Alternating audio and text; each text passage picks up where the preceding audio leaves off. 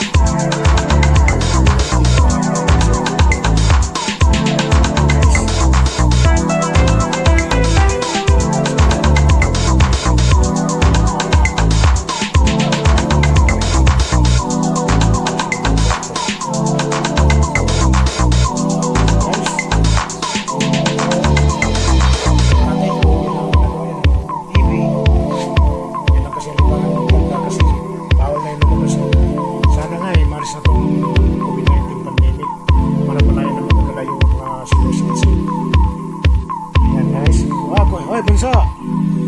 Inom ka gatas sa para dali ka muna ko ha? Ha? Si bunso. Itong baby ko. Oo ha? Ikaw kuya? O. Si kuya. Naliligo. naliligo. Jet planes in the night sky with you. Getting high in the sunrise with you. Ay guys, laban lang sa buhay. Getting through all the bad times with you. Kasi dati ang pasok ko, I wasn't missing a thing, no, I do.